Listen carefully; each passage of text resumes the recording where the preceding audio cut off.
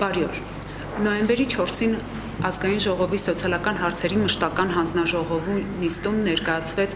ժամանակավոր անաշխատունակության մասին օրենքում լրացումներ ու փոփոխություններ անելու մասին նոր նախագիծը։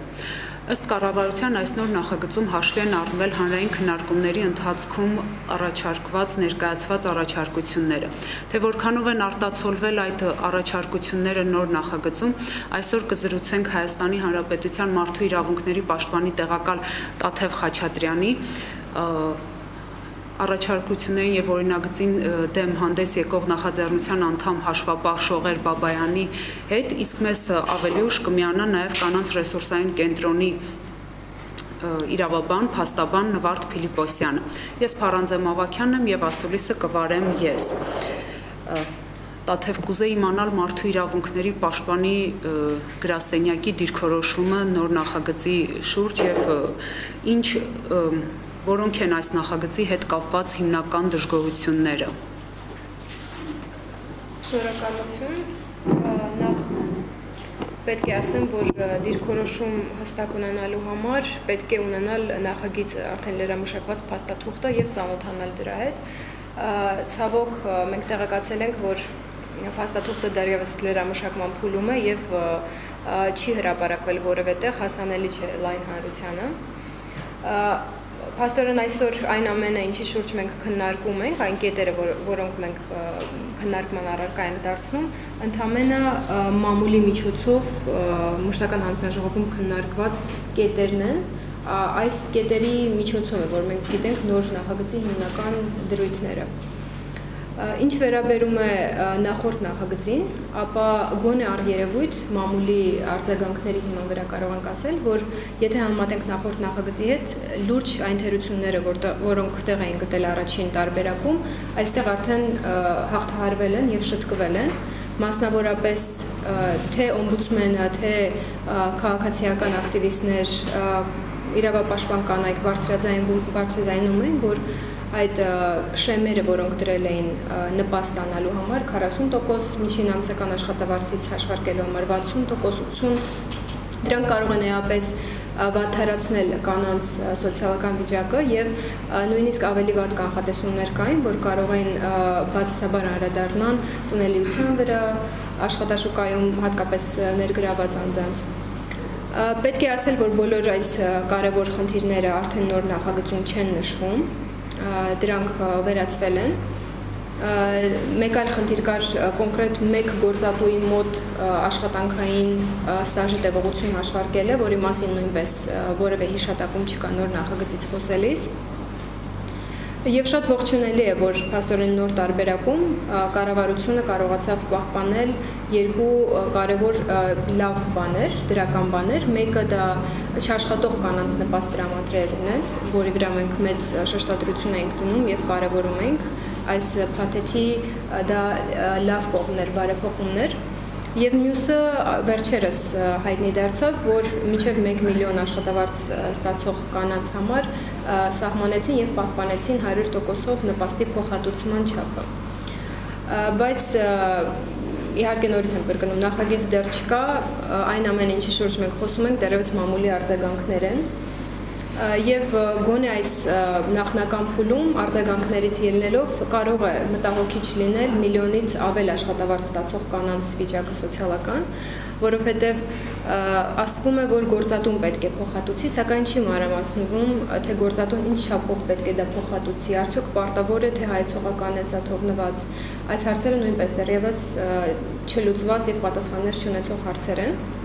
բայց տեսականորեն, եթե հիմա ուղակի մենք քննարկենք, Եթե նման պարտավորություն դրվի գործատուի վրա, այո, մենք հասկանում ենք, որ Հայաստանի աշխատաշուկայի պայմաններում միլիոնից բարձր ստացող կանայք շատ փոքր թիվ են ներկայացնում, շատ փոքր զանգված, բայց նման պարտավորության առաջացման դեպքում վտանգ կա, որ նույնիսկ այս կանայք ավելի կկրճատվեն եւ նման բարձր վարձատրվող աշխատա, աշխատավարձով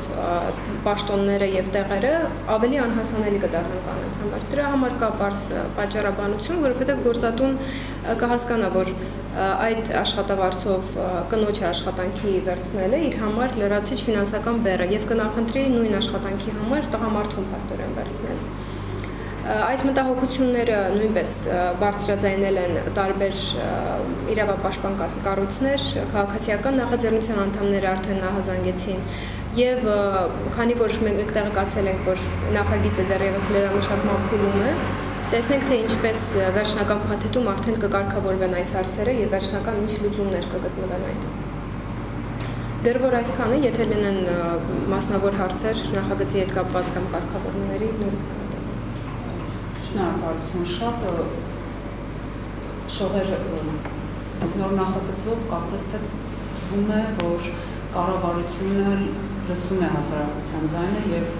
կարծիքը եւ փոփոխություններ, լրացումներ է անում։ Այդ դեպքում ինչու է շարունակում նախաձեռնությունը, ինչու է նախաձեռնությունը շարունակում բողոքել, որոնք են հիմնական դժգոհությունները կապված նոր նախագծի հետ։ Ուրեմն այսպեսով, քանի որ մենք գիտենք, որ սոցիալական ոլորտում օրենսդրական փոփոխությունները հիմնական կատարվում են, ասենք հաշվապահական, ֆինանսական, վիճակագրական վերլուծությունների արդյունքում, որտեղ կան հստակ թվեր եւ այս թվերը ներկայացնելով փորձում ենք հասկանալ այդ օրենսդրական փոփոխությունների կարեւորությունը։ Հիմա այստեղ տեսեք կոնկրետ այս հարցում թվերի դերը շատ մեծ էր, ինչու, որովհետև անընդհատ երբ որ ներկայացվում էր, ինչ էր ասում, ասում էր 30000 կանանց մենք տալիս ենք նպաստ, փոխարենը 13000 կանայք, որոնք աշխատում են, այստեղ ունենք խնդիր, մոտ 2-2.500 կին չարաշահումներ են, չարաշահումների արդյունքում են ստացել այդ նպաստը։ Տեսեք, սա երբ որ ես ոչինչ չեմ հասկանում, հեռուստացով դիտում եմ ու հասկանում եմ, որ ահա արդեն թիվ է այստեղ 30000 եւ այնտեղ 13 ու այնտեղ էլ ինչ որ մի մասը չարաշահում է, այստեղ իսկականից այս խնդիրը պետք է եւ պետք է բարձրացնել կարծես ինչ որ դիրական քայլ է անում կառավարությունը, բայց մենք ունենք հստակ արված նախաձեռնության կողմից հստակ արված ունենք ֆինանսական հաշվապահական տվյալներ, վերլուծություններ, որի արդյունքում հստակ ողջվում է, որ չարաշահումներ ասվածը, որ ինչպես բարձրաձայնում են, գիտեք, 2-3 ամիս աշխատում են բարձր աշխատավարձով ու նրանից հետո ստանում են բարձր նպաստներ, այսինքն բյուջեից ստանում են բարձր նպաստներ, Այս հաշվարկները բոլորը մենք ունենք։ Դա իրականում այդպես չի ամենաբարձր նպաստը, որ կարող է մինչև 12 ամիս աշխատանքային ստաժ ունենալու դեպքում բյուջեից ավելի շատ գումար տանի կամ բյուջե վճարի, դա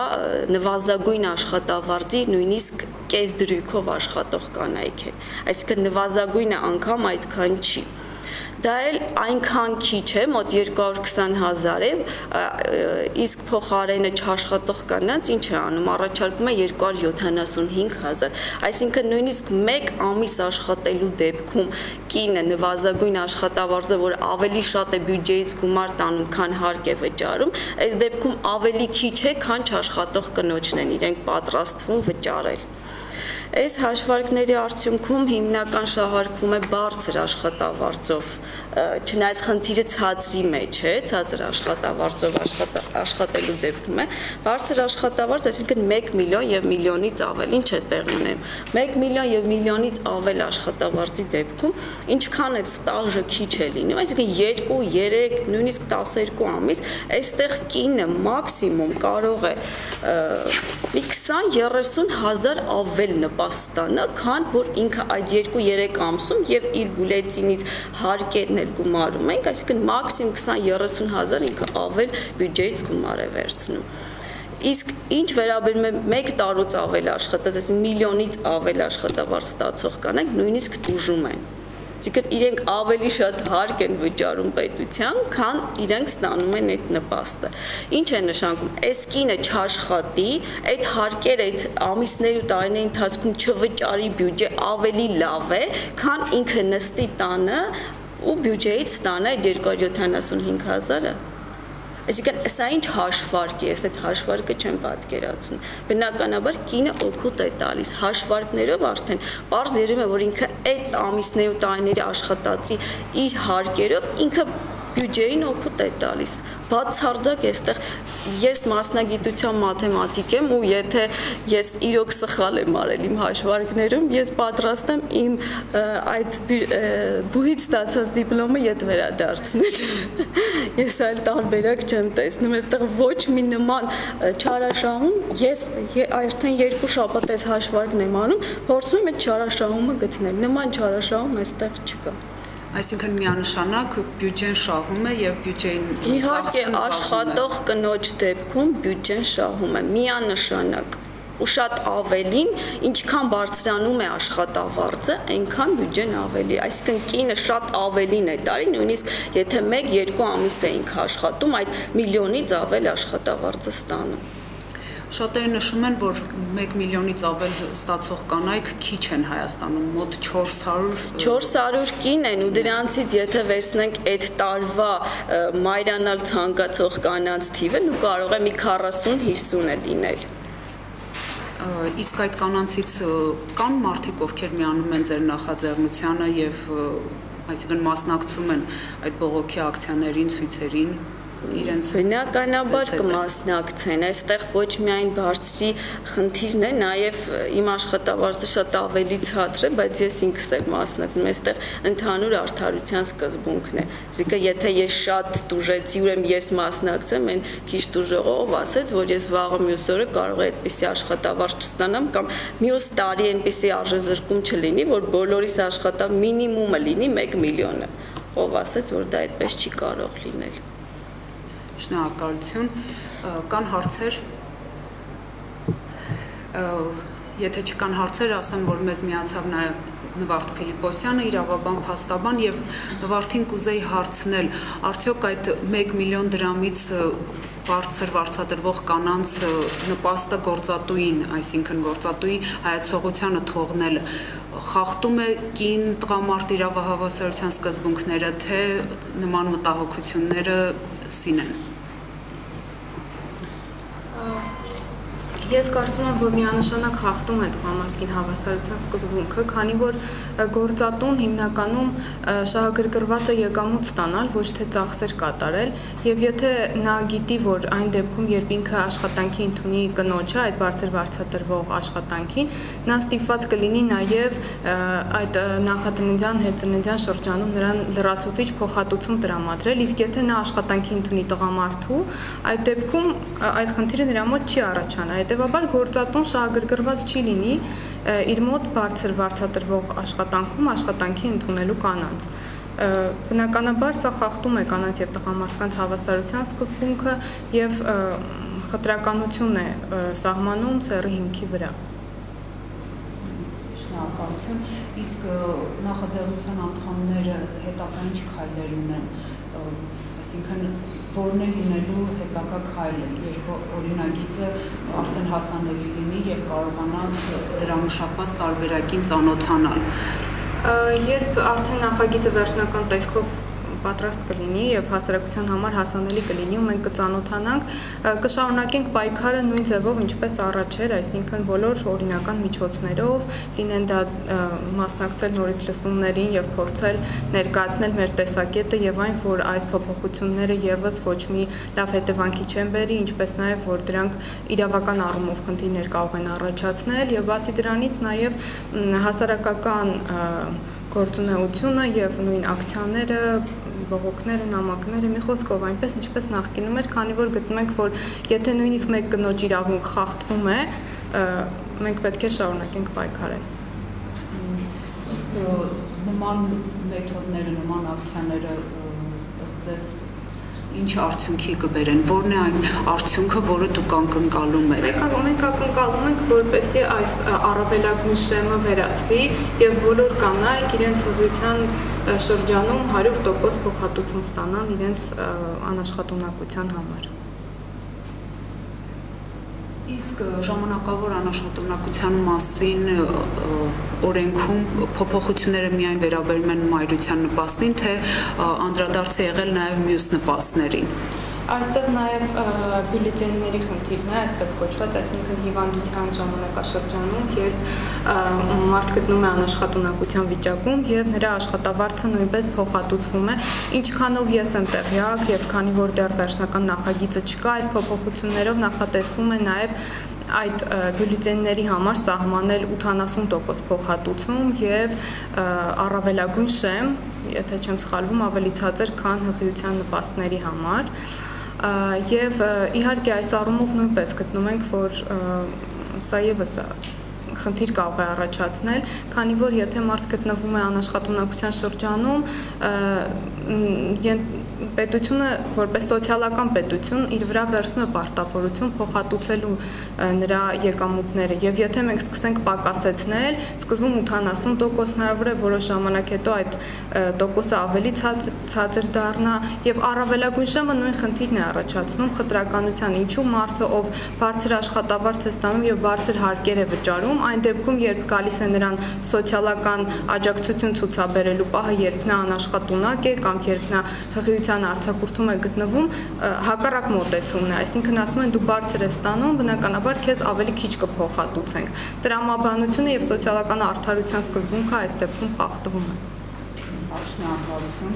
Գուցե մեր լրագրողների մոտ հարցեր առաջացան։ Մենք ճշտով հարց կա, կարող եք ներկայիս սակագները այսպես ասած ասել, ժամանակավոր առաջարկում կանանց ներկայումս որքան վճարում եւ որտեսի տարբերությունը հասկանալի է։ Այսինքն ինչ որ աշխատավարձի դեպքում, հա, Ենթադրենք նվազագույն աշխատավարձի դեպքում վճարվում է 300-4000 այդ կեղտոտ բուլետինը, այստեղից պահվում է նաև հիմա ասեմ, պահվում է հարկեր, 227000 վճարվում է նպաստ մաքուր, նվազագույն աշխատավարձի, 227000 վճարվում է նպաստ։ Սա այդքան ստանում։ Այո։ Իսկ ինչ Փոփոխվողը դե չարվեց, տոկոսները չարվեց, այսպես էլ կթողեն նվազագույնի համար, այս բարձր միլիոնից ավել աշխատավարձի դեպքում են փորձում միլիոնը պահել։ Այսինքն, եթե իմ միջին աշխատավարձը միլիոնից ավել է, ուրեմն ինձ հաշվարկելու են 1 միլիոնի չափով այսինքն այն միլիոն 100 200 դրանք հանելու են եւ 1 միլիոնի չափով ոնց որ 1 միլիոն աշխատավարձ ես 1 միլիոն աշխատավարձի դեպքում այստեղ ուրեմն վճարվող նպաստը կկազմի 2 միլիոն 166 հազար Եթե կարելի է պատկերացնել։ Այն իհարկե։ Այստեղ ստացվում է, որ տոկոսները, որոնք նախկինում առաջարկում էինք 40-60-80%, հիմա քննարկումից դուրս են եկել եւ նոր նախագծով այդ մասին ընդհանրապես չի խոսվում։ Հիմա մենք նշում ենք, որ կա ուրիշ խնդրահարույց հարց, այն է 1 միլիոնի շեմը, դրանից բարձր վարձատրվող կանանց հարցն է հիմա խնդրահարույց մնում։ Իհարկե նախագիծ չկա, բայց զուտ խոսակցությունների հիմա վրա եւ այն լսումների, որոնք կազմակերպվել էին, ներկա կարգավորմամբ 100% փոխհատուցում է տրվում եւ հաշվարկվում է ըստ կնոջ ստացած վերջին ուրեմն տարվա միջին աշխատավարձի։ Այսինքն, եթե դա գումարենք 140 օրվա համար ինչքան է ստացվում, ստացվում է այն գումարը, ինչը որ կլիներ, եթե դու աշխատանքի գայր այդ 140 օրը եւ մի բան էլ ավել, ավել ցուկով գումար էր ստացվում։ Նոր տարբերակով այն նույնպես պահպանվում է միջև 1 միլիոն դրամ ստացող կանանց համար։ Ամբողջ հարցը մնում է 1 միլիոնից ավել ստացող կանանց խնդիրը։ Համաշխարհային փոխությունասի ինչ է ասում, այս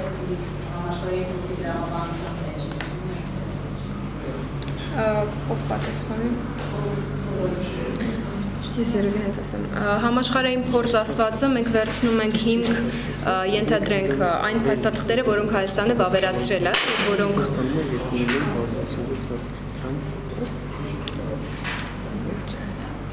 մոտ 4 միլիոն կապս։ Հա, ուրեմն Միջազգային փորձ ասվածը նախ եւ առաջ պետք է վերցնենք այն փաստաթղթերը, որոնք Հայաստանը վավերացրել է, դա վերանայված սոցիալական եվրոպական սոցիալական խարտիան է, դա աշխատանքի միջազգային կազմակերպության տարբեր փաստաթղթերն են, որոնք աշխատանքային հարաբերություններն են կարգավորում։ Եվ եթե նայենք այդ ուրեմն կոնվենցիաների անդամ պետությունների փորձը,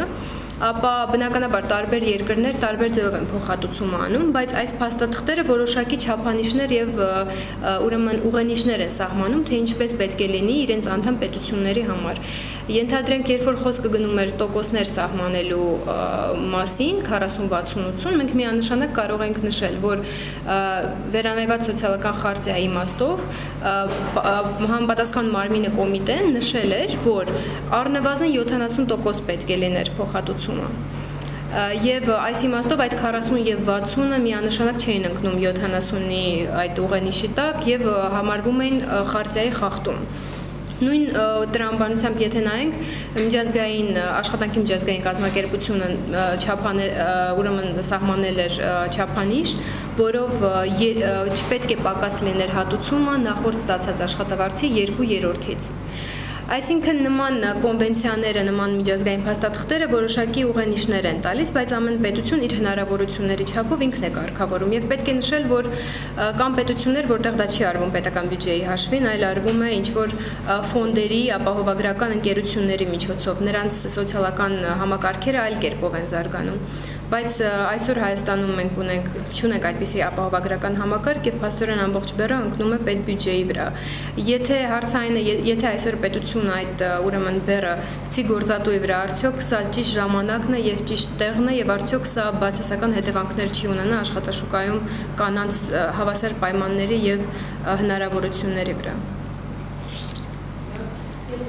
կարծում եմ կանանց իրավունքների պաշտպանության տեսակետից ուզում եմ իմանալ, որ եթե ինչ բացասական հետևանքներ կարող է ունենալ, եւ այսինքն արդյոք ծնելիության մակարդակի նվազում կամ այլ խորհրդության խնդիրներ բացասական հետևանքների մասին իրավունքների Եթե մենք խոսում ենք այս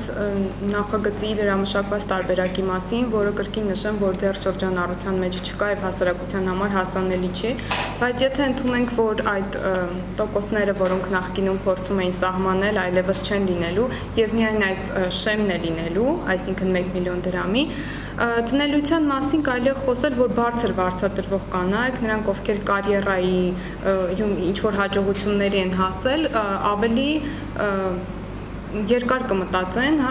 երկրորդ երեխան, ասենք, ունենալու ժամանակ։ Թե ինչքանով դա ընդհանուր կաստի ծնելիության վրա դժվար է այս պահին ասել, բայց հարցը ուզում եմ շեշտել, որ միայն ծնելիությանը չի վերաբերվում։ Եթե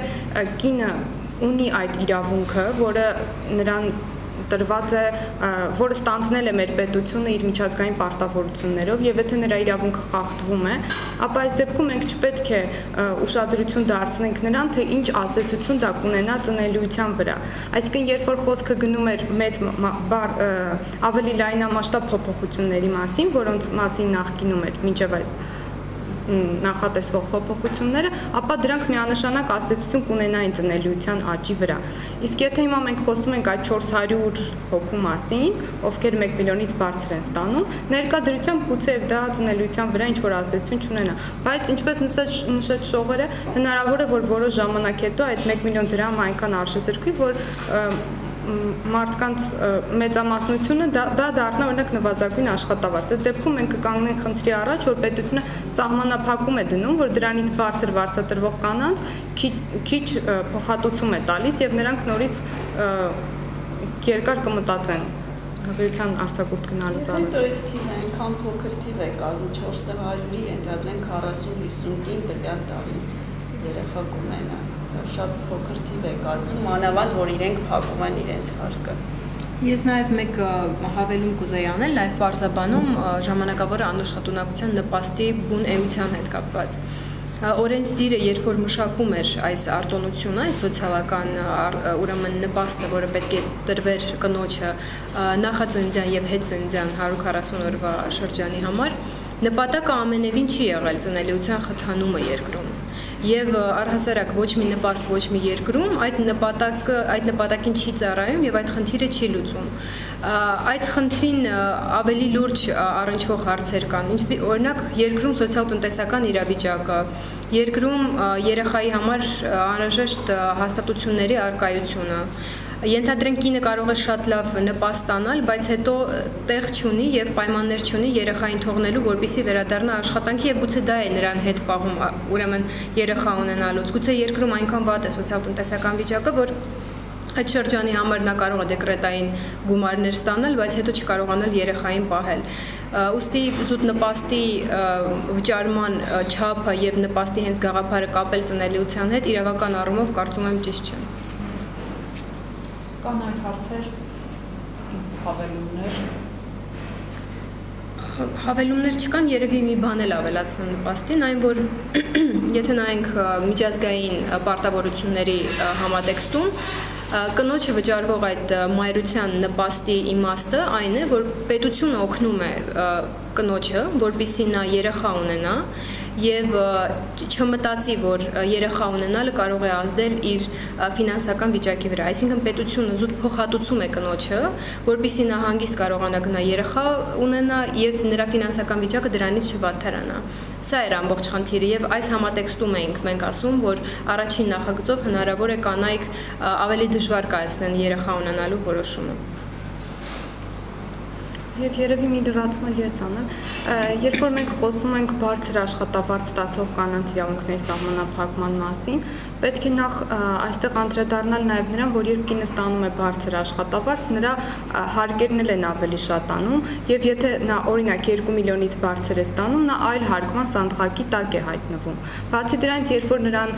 մեծ միանգամից, այսինքն եթե նա աշխատի այդ 4 ամիսները, 4.5 140 օրը, նա ամեն ամիս կստանա իր աշխատավարձը եւ դա կհարկվի ցածր սանդղակով։ Երբ որ նա միանգամից այդ գումարը ստանում է, դա լինում է ավելի մեծ գումար եւ այն բարձր սանդղակով է հարկվում։ Այսինքն կինը այսպես թե այնպես տուժում է որոշ առումով, քանի որ նրա ստացած այդ անաշխատունակության նպաստը ավելի բարձր հարկ է վճարում եւ նրան մաքուր գումարը ավելի քիչ է մնում։ Եվ եթե մենք մի հատ էլ դրան գումարում ենք այս առավելագույն շեմը, հնարավոր է ստացվի իրավիճակ, երբ կինը բարձր աշխատավարձ է ստանում եւ իր աշխատավարձի ընդամենը օրինակ 60%-ն է փոխհատուցում ստանում կարող է այդպիսի իրավիճակներ եւ այս դեպքում մենք նորից գալիս ենք այդ օրինակ եվրոպական վերանայված սոցիալական խարտիայի խախտման հանգամանքին, երբ չի երաշխավորվում, որ կինը, որը կարող է բավականին բարձր աշխատավարձ ստանալ, կստանա փոխհատուցում ընդամենը օրինակ 60%-ի չափով, երբ որ պարտավորությունը պետությունը ստանցնել է ապահովել նրան գոնե 70%-ը։ Այսինքն խախտումների հարցը բարձր աշխատավարձի դեպքում մենք շարունակում ենք ունենալ։ Շնորհակալություն Շողեր։ Ես մի փոքր էմոցիոնալ դաշտից կուզեմ խոսել։ Ես կարծում եմ, որ մեր պետական այրերը պիտի հաշվի առնեն, որ չի կարելի ամեն 3 տարին մեկ հղի կանանց եթարկել նման ստրեսի։ Շնորհակալություն, հուսով եմ նրանք կլսեն եւ կդադարեն ստրեսներին ենթարկել հղի կանանց եւ ոչ միայն հղի կանանց։ Այսօր մեդիա կենտրոնում քննարկեցինք ժամանակավոր անաշխատունակության մասին օրենքի լրամշակված տարբերակը եւ մեր հյուրերն էին Հայաստանի Հանրապետության մարդու իրավունքների պաշտպանի տեղակալ Տաթև Խաչատրյանը, կանանց ռեսուրսային կենտրոնի իրավաբան փաստաբան Նվարդ Փիլիպոսյանը եւ հաշվապահ Շողեր Բաբայանը։ Ես Փարանձե Մավաքյանն եմ, միշտ հանդիպում մեդիա կենտրոնի ուղիղ եթերում։ しくなるかもしれない。